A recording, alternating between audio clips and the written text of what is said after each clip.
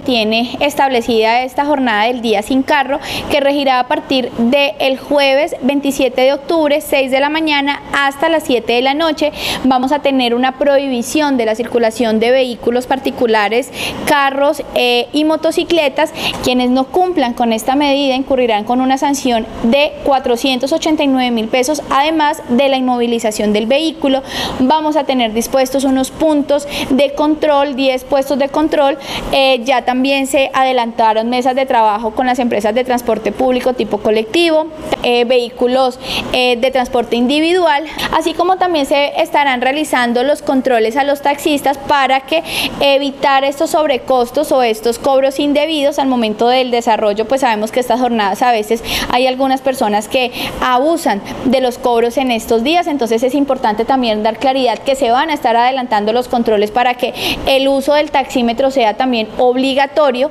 invitar a los ciudadanos a que acatemos esta medida, es la última medida del año en materia de eh, la prohibición de la circulación de vehículos para el día sin carro y sin moto y es importante pues que podamos desarrollar este tipo de actividades en pro de mejorar las condiciones y la calidad del aire de nuestro municipio.